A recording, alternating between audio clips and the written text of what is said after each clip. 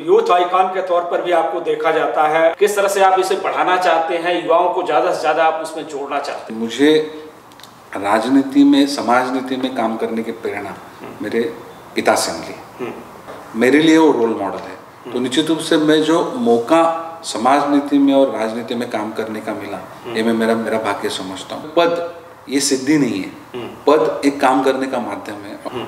जो अनुभव मेरा है उस अनुभव का उपयोग मैं समाज के हित के लिए करूँगा।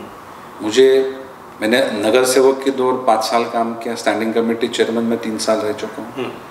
दस साल का मेरा विधान सभा में विधानसभा का मेरा अनुभव है। तो निश्चित रूप से उसमें हुए हुए डिस्कशन इश्यूज़ को सॉल्व करने के लिए हुए हुए चर्चाएँ अधिकारियों से हुई बात और एक प्रॉब्लम है तो उसको सॉल्व करना भविष्य में हमारे शहर के लिए क्या ज़रूरत है? Yes. हमारे शहर के लोगों की ज़रूरत क्या है?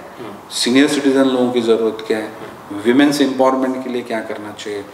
यूथ के लिए क्या करना चाहिए?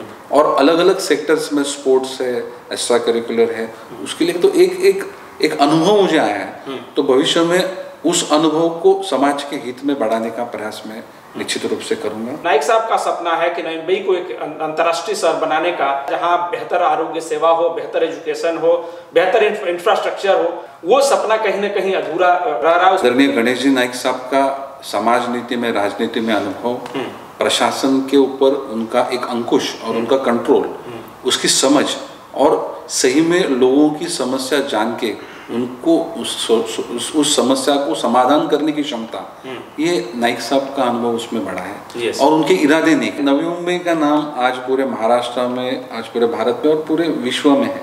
तो हर फैसिलिटी हमारे शहर में अच्छी हो और हमारी सिटी हेल्दी सिटी जिस शहर का इंफ्रास्ट्रक्चर अच्छा है जिस शहर में एजुकेशन अच्छा है जहाँ पे सभी लोग अच्छे से रहते हैं ऐसे एक अच्छे तरीके से एक हेल्दी सिटी करके हमारे शहर का नाम हो और उसके लिए काम करना ये मैं महत्वपूर्ण समझता हूँ। देखिए कि हम सभी परिवार के लोगों को कार्यकर्ताओं को उन्होंने सूचित किया कि ये ये समय ऐसा है कि इस समय हमारे शक्ति से हम जो भी कुछ कर सके वो हमें इस शहर के लिए करना है लोगों के लिए करना है। और उन्होंने ये भूमिका एक उनका कर्तव्य न समझ के नवी मुंबई के कुटुंब प्रमुख हैं और उनको सही मार्गदर्शन इस शहर के लोगों को देना है और उनको सुरक्षित रहने की ज़िम्मेदारी उनकी है।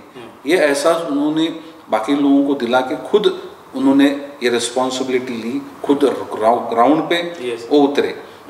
उन्होंने हमने कहा कि सच्चे योद्धा की परख ये रणभूमि में होती है। और ऐसे समय आपको खुद को खुद को सुरक्षित रखते हुए अपने कुटुंब को सुरक्षित रखते हुए जो भी काम आप कर सके आपके अनुभव से आपकी क्षमता से वो आप करो।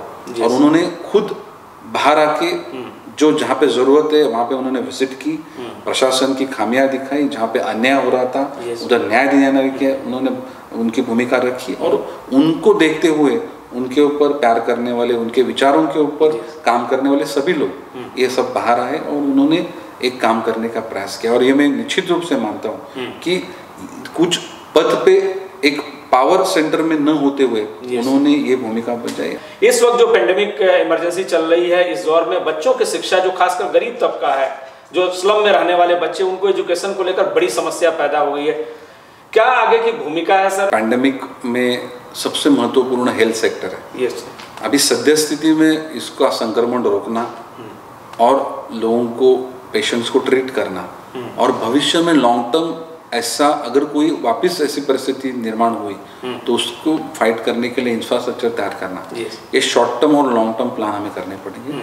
उसके साथ में सबसे महत्वपूर्ण चीज़ है एजुकेशन अभी सभी गरीब अमीर C B S C I B private schools महानगर पालिका सबके पेरेंट्स अभी अपने बच्चों के एजुकेशन करियर और इस साल के लिए चिंतित हैं। यस तो उस समय सेंट्रल गवर्नमेंट से स्टेट गवर्नमेंट से क्या गाइडलाइन आ रही है? कभी स्कूल ओपन हो रही है। लेकिन महानगर पालिका के स्तर पे हमें अभी एक एक जागरूकता हम लोगों में लानी पड़ेगी। हमको उसके लिए भी सोचना पड़ेगा। Yes. देखिए अगर आप ई लर्निंग शुरू किए अगर ऑनलाइन टीचिंग हो रहा है तो उसमें टैब देने से या कंप्यूटर घर में आने से उसको एजुकेशन मिला ऐसा मैंने समझता यस स्कूल में फ़र्स्ट स्टैंडर्ड के लिए छः घंटा स्कूल में बैठना पड़ता है। तो छः घंटे स्क्रीन के सामने क्या बच्चे बैठ पाएँगे? पेरेंट्स उसको उनके साथ बैठ सकेंगे। ये सिलेबस कवर कर पाएँगे। और उनको बच्चों को कितना सीखने को मिलेगा? अगर हम लोग ऑनलाइन ही एजुकेशन अगर आगे बढ़ाने वाले तो महानगर पालिका के बच्चों को हम लोग मोबाइल में पढ़ेंगे या उनके लिए टैब अवेलेबल किए जाएँगे। या उनके लिए कोई ट्रेनिंग प्रोग्राम दिया जाएगा? उनकी समझ भी हमको अपग्रेड करनी पड़ेगी। टीचर्स लोगों को ट्रेनिंग देनी पड़ेगी। तो ये सब चीज़ हमको एक एक ढांचे में बैठाना ज़रूरी है। तो उसके लिए अभी हमारे स्तर पे हम लोग काम कर रहे हैं। लेकिन आदरणीय नाइक साहब ने जो आयुक्त महोदय है उनको भी उनको पत्र लिखा है कि जो पॉलिसी आएगी उसके लिए हमारे सिस्टम को भी अपग्रेड करना और उसकी तैयारी शुरू करना ये काफ़ी ज़रूरी है। महानगर पालिका में पढ़ने वाले बच्चे जो स्लम से रिलेट करते हैं जो गाँव से रिलेट करते हैं जो पॉवर्टी लाइन के नीचे जिनकी अर्निंग है उनके बच्चे उनको भी एजुकेशन की सुरक्षितता वो हमें देनी ज़रूरी है। और उसके लिए महानगर पालिका को नाइक साहब ने अलर्ट किया है कि उन्होंने उन्होंने कहा कि जब तक नवी मुंबई से कोरोना पूरी तरह से नहीं जाता तब तक ही मैं फॉलो चालू फॉलो चालू करूँगा। और उनका अनुभव और प्रशासन के ऊपर उनका अंकुश और उनकी मन की सच्ची धारणा निश्चित रूप से नवी मुंबई को कोरोना मुक्त करेगी। आज की बातचीत में बस इतना ही। दीजिए अब हमें इजाज़त लेकिन आप देखते रहिए टीवी वन इंडिया।